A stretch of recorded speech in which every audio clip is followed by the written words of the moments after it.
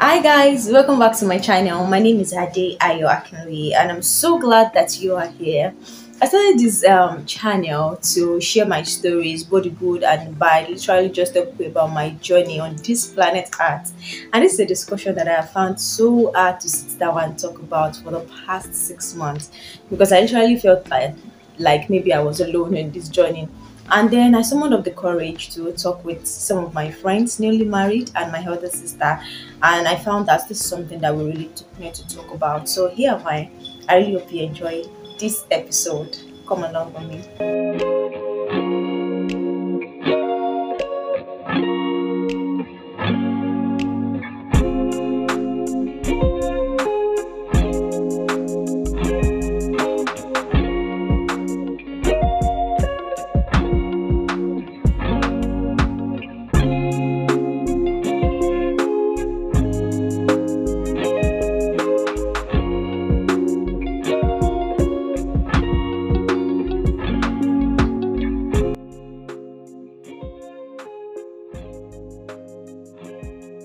Start off this way because I would really love to monetize this video. I'm going to be substituting, you know, what we'll be talking about today.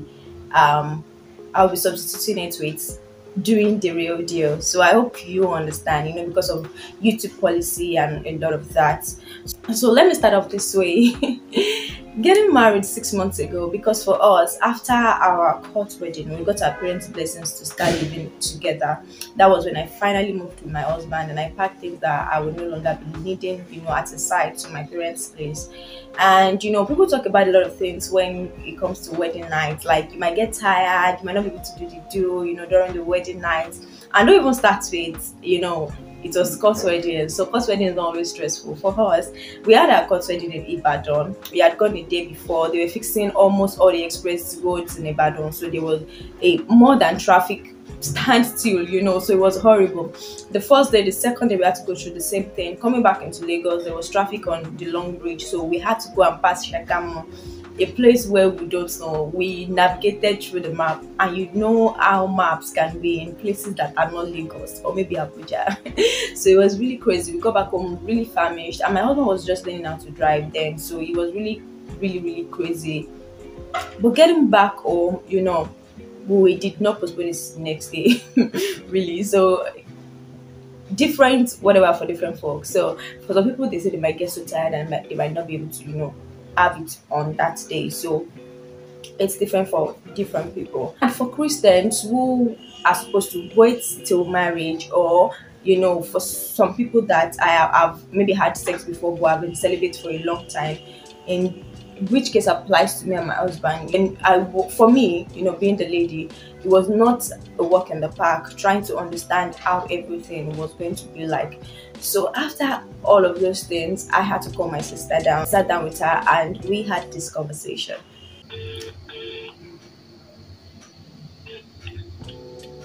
Hi, mommy. Good evening, ma. I'm fine. So, um, I remember I had this discussion with you, you know, a few days ago, um, about um, you know, sex after getting married. I just lit- literally wanted to like, you know, talk about it once again. Like, so, like, I just wanted to like share your ex- experience about it. And do you think that this is something that should be more um, common now, you know, among Christians or in churches for um, newlyweds? I think um, sex is something that we should really take into consideration when it comes to marriage because it's, it's really a big thing to talk about. And for me, it wasn't it was an easy thing to do really because the first time was was was really not it was not okay at all. It was it was stressful, it was painful.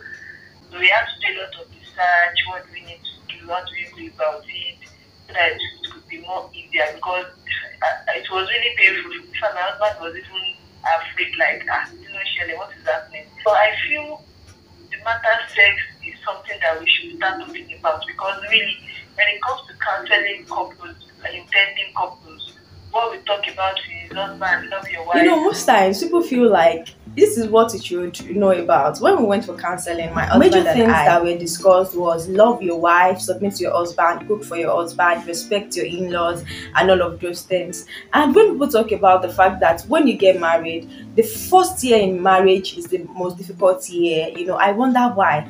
And you know, getting into it, I actually started understanding why they say that. Although in my case, that really didn't happen, but I have friends and sisters, and we've had this discussion. You know, therefore, some people that are moving into a new state, there are some people that for the guy is just you know getting his finances together to get a home, get the furniture, and the, set up the kitchen and all of those things for his wife, and for the wife coming into a new city, you know, trying to um get a job and all of that is draining on its own. Then imagine that your husband is already expecting that now that I'm about to get married, you know, I have free access to everything that I had, for better word, you know, suffered myself, not having, you know, when I was a bachelor. You know, I have the free access to it now but for you you are just trying to learn your body. You know a lot of things is happening to your body in your body at the same time. And nobody has told you that this is the way it's going to be. Like you just feel like you know you've seen maybe sex scenes in movies and all. You've read about it. You've watched cartoons and all of those things. And you believe it. Is all you know angels singing and but you get there and you really could not understand all of these things. Like you are having a lot of body changes and you're having you know you're bloated you most times for me there are times i couldn't go to the toilet to the toilet for like two three days and i'm so bloated and my tummy was so big and for me i had a very very you know flat tummy and you know that started changing and i was wondering what is happening. Like if this is what you guys have been talking about all this while then you definitely you are overhyping it you know just like Dami said. Important. Yeah i was telling you the other time about when one doctor i talked to that i was under a lecture like that it was like yeah what have you been doing all this while? And you are saying, like, what, what has been happening? What has been doing? Now this is doing, and you are saying you are not just bad for some people. Hmm. And there were this couple that came to him because they are having fertility they are not able to conceive. So the doctor had to, uh, to tell them to go through some tests, run some tests, and because of the test, they realized that the woman was still faking. so the doctor was like, ah. how? What have you been doing? So for me, 12 days after my wedding, I got really sick.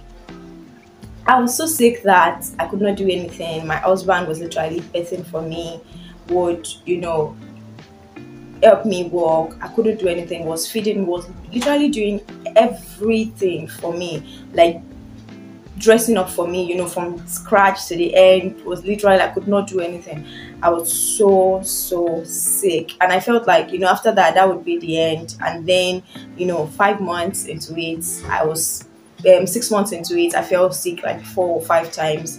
You know, starting a new job in a new city and getting leaves up and down because we were sick, and in the going through all of that while you are um, you know you are newly married and your husband has been expecting a lot and here you are you know falling sick trying to understand why this is happening in your body and you know why that is happening in your body. You know for a man their you know organ is outside but for us it's inside. And the way it's the female body is designed is to fight you know whatever it is that the man is depositing in the body. So this is new for you. You're probably 25 28 30 you know getting into marriage. You've been celibate for 8 10 years. You have not had sex at all.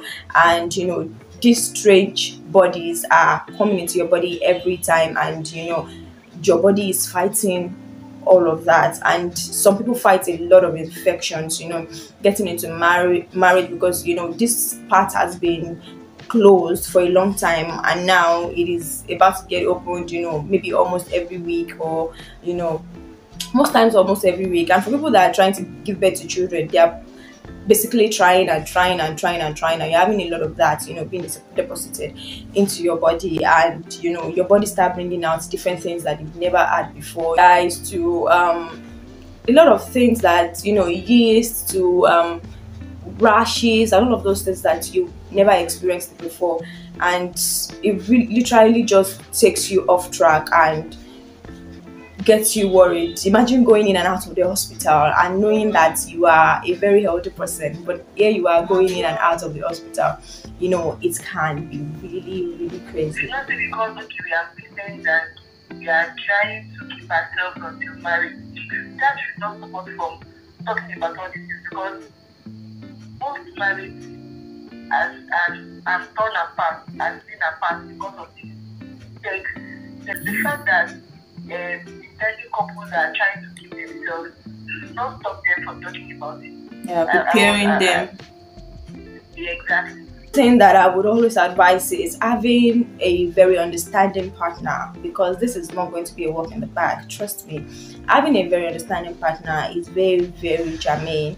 For me, my husband is an investment research analyst, but he has literally done research about everything that has to do with womanhood, sex life, you know, everything that has to do with them. Some information about the woman body that my husband literally talks about sometimes and he's like, okay, what you're experiencing is normal. And I'm like, how do you know about it? You know, I read about it and I'm like, what is happening? So for him, you know, after things really started getting really hard for me, you know, it didn't make it like it is your, you know, work. You should know how to get through it. It really get and I started studying about a lot of things. He read and read voraciously about a lot of things and was really gentle with me, you know, throughout the whole process. And also I would say, you know, starting out you guys are starting out together you know you're not like you've had different sex partners and you know how this feels or how that feels and everything and you are like so i believe you should talk about it let him know that you enjoy these things or you don't enjoy these things and you know be ready to just explore together. And because these are things that they really don't talk about in church you feel like you just learn it along the way. So that is why i believe that communication between the two people are very very is very very germane so talk with your partner let them know what you enjoy let them know what you don't like let them know if there is anything you know that you would love to try out. And if you try it out and it doesn't work you know be be um you know be able to talk about it open up and tell them okay we tried this out but i don't think it works for me.